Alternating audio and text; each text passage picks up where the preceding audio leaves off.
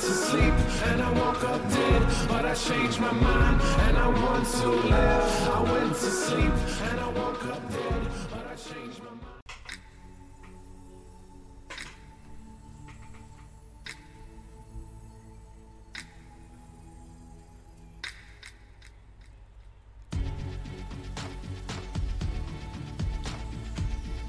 Ouais, tout le monde, c'est Christophe, aujourd'hui on se retrouve pour les Breaking News. Enfin, c'est pas trop l'actualité en fait, je me suis peut-être un peu trompé, c'est... voilà.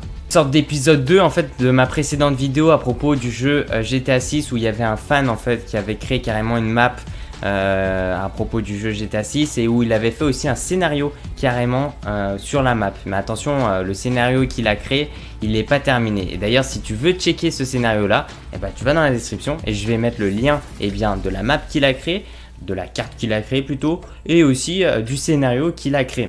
Alors je suis désolé, moi j'aime bien faire des vidéos courtes. Maintenant j'essaie de faire un peu ce style-là et de m'habituer aussi pour l'année prochaine où je serai en école supérieure et où je n'aurai pas beaucoup de temps aussi de faire des vidéos. Et donc faut que je m'habitue aussi à faire des vidéos courtes. Donc désolé si je peux pas faire de vidéos trop longues. Et en plus de ça, ça fait moins d'argent pour moi et moins de publicité pour vous. Donc tout le monde est gagnant. Enfin, pas moi, mais bon, c'est pas grave, c'est comme ça. Déjà, la localisation géographique, ça va se passer à Chicago, mais euh, dans l'ensemble, vu qu'il a créé une map avec euh, plein de villes, donc toutes les villes un peu de, des GTA qui ont été développées, enfin des, ouais, des, villes qui ont été développées, en tout cas dans les GTA, euh, donc telles que euh, New York, Miami, euh, etc., etc., Los Angeles.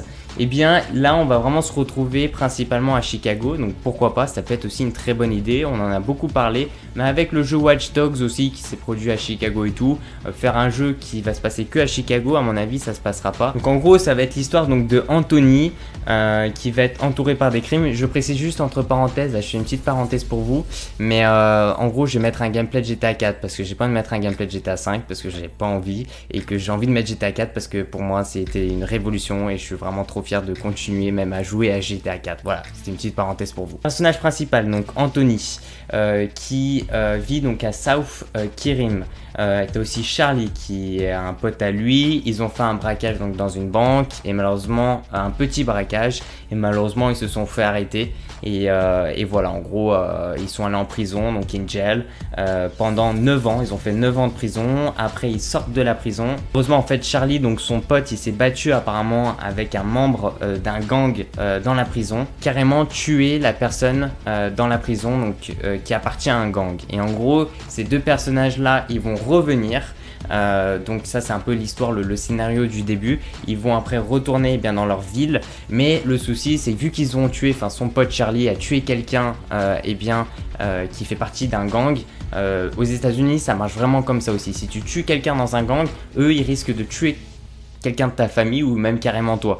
Donc ça, ça marche vraiment. Donc en fait, ce qui va se passer, c'est que eux, ils vont retourner dans leur ville et que ils vont avoir des soucis avec des gangs, etc., etc. D'ailleurs, c'est assez intéressant aussi au niveau des personnages, c'est-à-dire qu'on a Anthony, donc qui a 23 ans, euh, qui vit à, Chicago, qui est un Africain. C'est drôle, lui, il met race. Donc euh, peut-être euh, les Anglais et tout, ils ont moins de problèmes avec ça. Nous, si on met race africain noir, je pense que tu te fais, ouais, tu- on dit que t'es raciste direct. C'est un jeune homme euh, qui vit dans la pauvreté et dans la violence, donc il essaye d'éviter les gangs, mais qu'il a besoin d'argent, euh, etc., etc. pour lui et aussi sans doute aussi pour sa famille.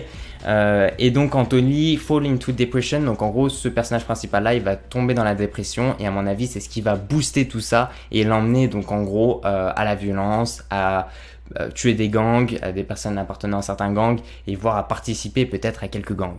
Charlie qui a 24 ans, qui vit aussi à Chicago, qui est aussi un Africain euh, et qui lui aussi vit dans la euh, pauvreté quelque part.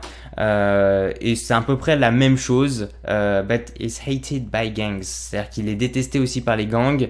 Euh, et c'est donc le meilleur ami aussi d'Anthony. Donc c'est aussi pour ça. Et en plus de ça, il a tué quelqu'un donc euh, appartenant d'un gang, donc en prison. On a aussi un troisième Africain. Ça fait beaucoup d'Africains pour quand même pour un GTA.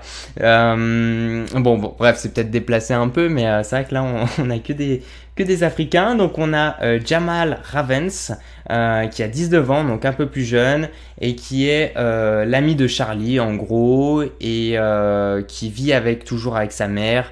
mais qui par contre et lui c'est euh, en gros c'est un drogué, enfin il est vraiment euh, addict, il est euh, vraiment accro à la drogue. C'est vrai quelque part quand tu me dis ouais bon bah le, scénario et tout, bon même s'il l'a pas fini, qu'il peut le modifier, c'est ce qu'il va faire, il a dit, il a pas l'air si intéressant que ça. Après tu peux rajouter des persos et tout, mais ça va être au niveau des missions qui risque d'être assez intéressant quelque chose peut-être que forcément on aimerait voir dans un futur GTA. Il a commencé à écrire en fait un tas de missions, il y en a vraiment beaucoup de missions, telles que la première mission, en gros, il va falloir s'évader, enfin en tout cas, euh, ouais, partir de la prison et accéder à sa fameuse ville euh, là où il habite en fait. Donc il précise même que Anthony donc détruit la porte, etc., etc. pour euh, s'enfuir donc de la prison en 2014. Donc il va s'appeler Life in City. En gros, ils vont marcher euh, pour acheter de la nourriture, pour faire quelques boutiques et tout. Donc ça, ça peut être sympa aussi si on peut accéder à des boutiques, même dans un fast-food. Donc ça, je vais vous en parler aussi prochainement. C'est très intéressant. Euh, et malheureusement, ils vont tomber sur donc des gangs, etc., etc. Et ça va mal se passer. Donc ça, ça pourrait, ça, en fait, en gros, ça sera la première vraie mission euh, en pleine ville, euh, rivaliser contre des gangs, en gros. Et la deuxième mission, ça sera un peu la même chose. Ça sera un- une course poursuite aussi avec la police parce qu'ils auront tiré donc sur des gangs et que donc après ils vont se rediriger en gros dans un appartement, enfin chez Chris apparemment. Voilà, c'est pas moi, mais c'est Chris. Donc qui vont retourner donc voilà à Charlie, à la maison de Charlie en fait. La mission 3 en gros c'est car stealer, c'est-à-dire en gros voler des véhicules pour après les revendre. C'est un peu ce qu'on voit actuellement aussi, un peu dans GTA 5, le, un peu le même style de genre de mission. Là, c'est vraiment quand même assez construit. Par exemple, là, ils expliquent la mission 5, euh, où c'est Anthony qui décide finalement de retrouver le fameux gang en fait qui les a attaqués. Euh, et euh, donc il arrive à les retrouver, donc ça se tire dessus, et puis après il y a les flics en fait qui les poursuivent, et il arrive à les esquiver, enfin en gros voilà, à esquiver la police, et puis de carrément se, se remettre un peu donc à la maison je crois de Jamal, voilà. En fait finalement c'est quand même assez répétitif, euh, c'est-à-dire que il y a une mission aussi qui est pas mal, la mission 7, où euh, en gros le pote il va se faire, euh, il va se faire kidnapper en fait. Donc euh, Charlie va se faire kidnapper et que après donc euh, donc en gros euh, Anthony il est dans un plein fast food et donc il apprend ça par le téléphone par Jamal et en gros ils vont devoir aller chercher Charlie parce qu'il s'est fait kidnapper et tout. Donc c'est plein de petites interactions, de petites choses qui vont faire un peu pimenter l'histoire, le petit scénario. Bon, je pense que même même moi honnêtement je pourrais en faire un en regardant un peu vraiment en analysant parce que j'avais pas trop lu la fin mais c'est vrai que c'est vraiment répétitif mais c'est quand même assez intéressant some globalement. Par contre, si vous voulez, vous pouvez lire ou essayer de comprendre la suite. Euh, c'est vraiment grosso modo les mêmes choses. Ça va être des missions qui vont s'empiler. Donc comme ça, j'aurai pas à faire plusieurs vidéos. Et euh, ou peut-être s'il va modifier des trucs. Et après, en fait, ce qui va être vraiment vraiment intéressant, c'est que déjà ils sont donc dans une nouvelle ville, Chicago, et que après ils vont partir dans d'autres villes euh, qui ont été déjà développées par par Rockstar. Mais ça, c'est pas un problème. Partir à, à New York, vite fait partir par exemple à Los Angeles, à, à Miami, etc., etc. Et donc après, il va devoir faire des missions à certains endroits, à d'autres endroits, etc.. Tout en ayant cette map là que je vous ai montré, euh, qui reflète vraiment, on va dire, eh l'État, donc les, les États-Unis, euh, et que voilà, tu peux faire plein de choses. Alors c'est vrai que, comme je vous l'ai dit, c'est peut-être pas forcément très bien proportionné en termes de ville. C'est des endroits où tu vas vraiment t'ennuyer, mais c'est vrai que ça peut être super intéressant de faire un scénario immense, euh, voire peut-être euh, euh, carrément commencer avec plusieurs personnages. Donc là, il en parle pas trop. Et donc le but forcément si on tombe dans, la drogue, dans, ce genre de choses où vraiment on est dans la pauvreté et qu'on veut faire un maximum d'argent, donc on va voler des véhicules, on va faire patati patata, mais il y a quand même pas mal de petites choses assez intéressantes que je vous ai citées, voilà, histoire de prison, histoire de blablabla, faire du trafic d'armes et puis voyager d'une ville à une autre, euh, sachant que eh bien en fait on est carrément aux États-Unis et ça c'est quand même assez intéressant. Dans le scénario en gros c'est vraiment euh, ils vont rechercher donc Charlie qui s'est fait kidnapper et ils peuvent même aller aussi eh bien, dans des endroits euh, voilà, super difficiles où ça va pas être facile de le retrouver. Ils auront à chaque fois des, on va dire, des petits indices, des petites traces. donc après voyager à un autre.